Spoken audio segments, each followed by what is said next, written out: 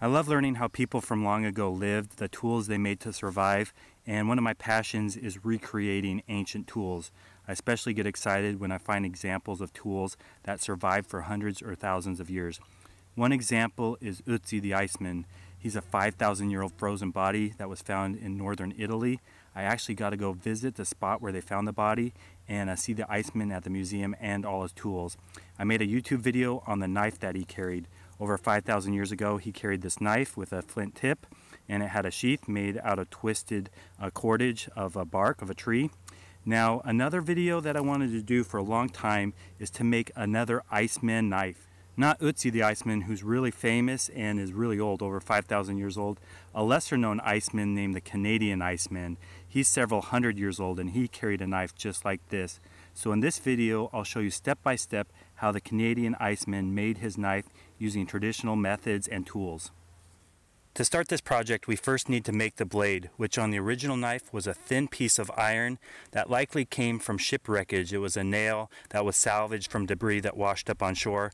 Up until now, these people were using stone tools, so I'm sure any iron that washed up on shore was really valuable and fashioned into tools. I don't know if it originally was made by cold hammering, where you just smash it between two rocks and grind a sharp edge, or heating it in the fire, so we're going to try both. Now, I found this nail on the beach last time my family went. The kids were looking for seashells and I was looking for a nail and I found this one. I have no idea how old it is, but it's pretty rusty and will work for this project. So let's start pounding it and shaping it and see if we can make a blade for our knife.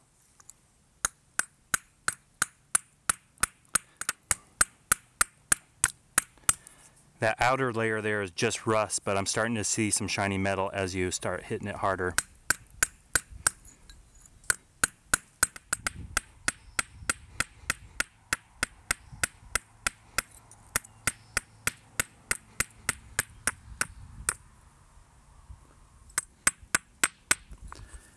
I've been working this old rusty nail we found on the beach for about 10 minutes, just pounding it between two rocks. And on the tip there, that rust flaked off and you can see shiny metal. And it's actually made a really nice blade. This will be perfect for a knife. The next step, while it's still connected to this rust here, is just work it on the stone, get a nice sharp blade. Then we'll break it off and we're done with the blade and we can move on to the next step. I thought I was gonna have to heat it up with fire, but no, just two rocks and we can make a really nice blade.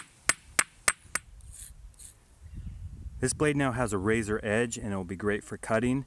I've also hammered this part really thin right here. So anytime you have a thick piece of metal to a thin piece of metal, it'll break off easily. You just sit there, give it a little twist, and we now have a blade we can insert into our handle. Let's go make the handle. The handle was made out of hemlock wood, which is a very common tree found growing in the Pacific Northwest. It was used to make a lot of different tools, and in this case, a knife handle. Now I'm going to remove the bark and then saw it to length and uh, to do that, they had a lot of different tools. They obviously used the iron knife blade when they could get shipwreck nails, but they also made blades out of slate. Here's a piece of slate that I ground an edge on, and that was used for making projectile points and knives, and I'm going to use it here to scrape off the bark.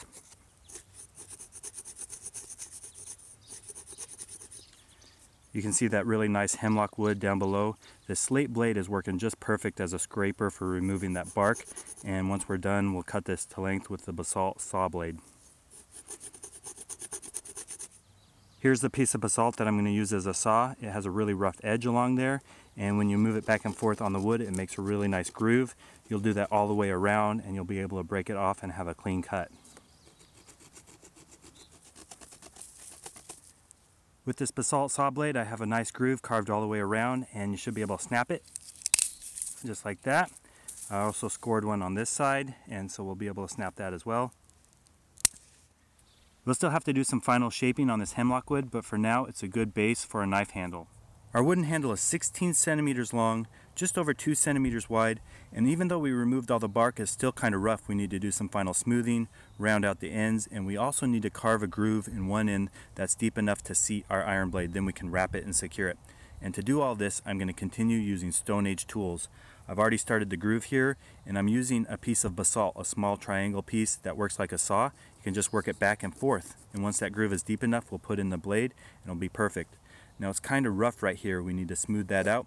And to do that, I'm gonna use this. This is a piece of pumice. It's really abrasive, and when you work it back and forth, it works just like sandpaper.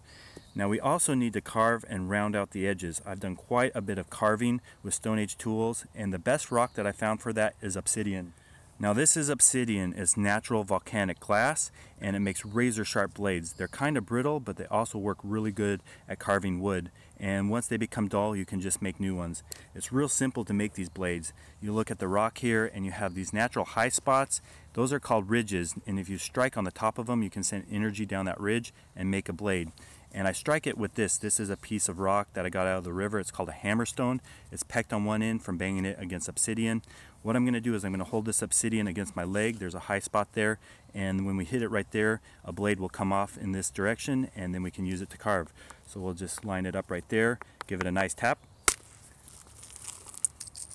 Look at all those blades. That was a lot of them. Those will be perfect. I'll show you how well these carve the wood.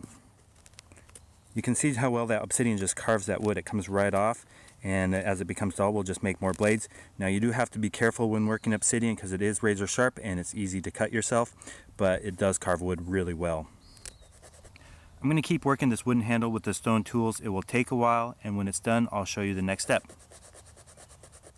Here's our wooden handle after we're done shaping it. The original had an angle carved into the back. It's nice and smooth and it has a deep groove in front that perfectly fits our iron blade. It just seats right in there like that. We're now ready to wrap and secure it. On the original knife, this was secured using sinew. Sinew looks like this when it's dry. It's the tendons of a deer or an elk. You can use leg sinew or you can also use back sinew, which is what this is. I got this off of a deer last year it's the long, tough fibers that go along the loin or the back strap. You have to cut that off when you eat them anyway, and they're really useful. They've been used for thousands of years as wrappings on arrows, knives, and uh, you can make bowstrings out of them.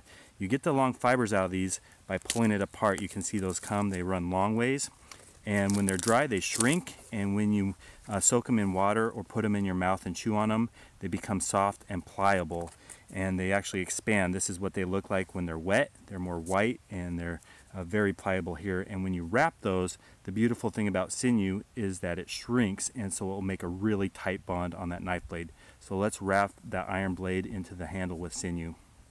I'm just going to take several long pieces of our wet sinew. You take the end and uh, lay it back so that when it wraps, it will wrap over itself. And you just go around and make a really nice tight wrapping the whole length of the blade. To finish off the wrapping, I usually just do a half hitch where I come around on itself, tuck it through, and then uh, secure it. When that dries, it will hold itself in place. Now the sinew wasn't the only hafting that was on this knife. He further secured it. He put a piece of bone on top of this and that would keep the blade from going up or down. So I need to carve a piece of bone here that's a little sliver that fits on top of this and then we're going to wrap it a second time with rawhide lashing. So while this is drying and shrinking, I'm going to make the bone sliver to go on top of the blade. The sinew wrapping is now dry. I completed shaping the bone sliver which slides on top of the blade just like that to help reinforce it and we're ready to move on to the next step with our second wrapping. Over the sinew wrapping and the bone sliver there was a second wrapping of rawhide or leather. Here I have a piece of brain tan deer leather and an obsidian blade that's so sharp it will easily cut this. We can cut a nice long strip that we can use for a wrapping. Just goes like that. That will work perfectly. We have our long leather strip here so we'll do our second wrapping just tucking that end right next to the bone going around and then carefully wrapping the first third of the knife which will secure everything in place. I'm just going to do a basic half hitch knot to tie it off there.